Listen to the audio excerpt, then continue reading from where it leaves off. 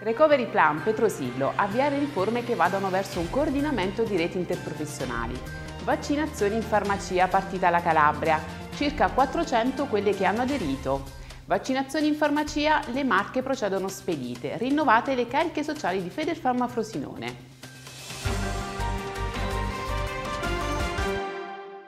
Buongiorno e ben ritrovati con una nuova edizione del TG di Federfarma Channel. Superare il concetto di sistema a compartimenti stagni e avviare riforme ispirate ad una visione globale dell'assistenza puntando ad un coordinamento di reti interprofessionali, farmacisti, medici, specialisti e infermieri che si interfaccino nei diversi livelli di assistenza, ospedale e territorio, sono questi alcuni passaggi dell'intervento di Gianni Petrosillo, presidente Sunifar, nel corso del webinar Medicina del territorio e Recovery Plan, un'opportunità di cambiamento, organizzato da Motore Sanità. Eccone uno stralcio. Oggi le farmacie fanno i tamponi, fanno la rilevazione dei contagi Covid, eh, ci sono regioni che sono partite con le vaccinazioni, eh, né durante la fase Covid abbiamo avuto un'ulteriore spinta alla, de alla dematerializzazione, qualcuno l'ha ricordato prima, oggi noi eh, consegniamo il Green Pass, quindi veramente una, una, eh, diciamo, una, eh, un, supporto a tutto tondo nella risoluzione dei problemi emergenti.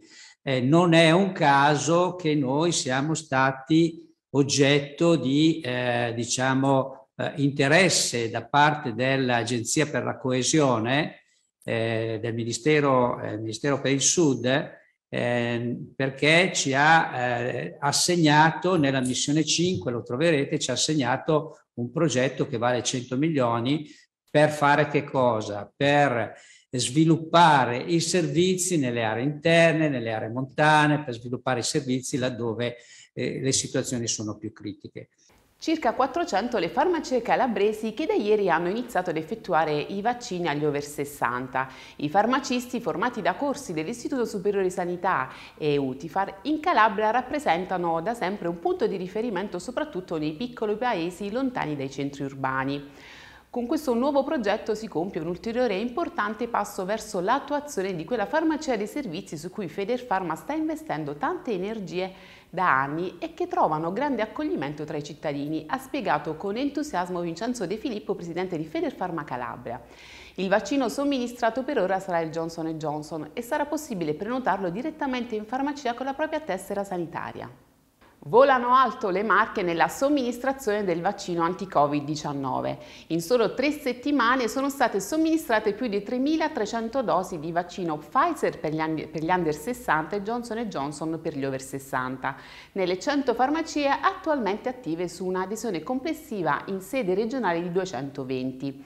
Le marche, sottolinea Andrea Avitabile, presidente regionale di Federfarma, sono state la seconda regione d'Italia dopo il Lazio a credere in questo servizio di vaccinazione nelle farmacie.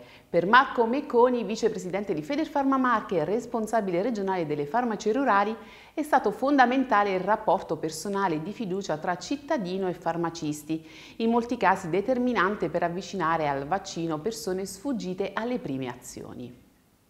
Rinnovate le cariche sociali di Federfarma Frosinone con la riconferma di Giovanni Querqui alla presidenza. Stefania Cervini nominata vicepresidente, Stefano Torrisi segretario e Marco Del Signore alla carica di tesoriere.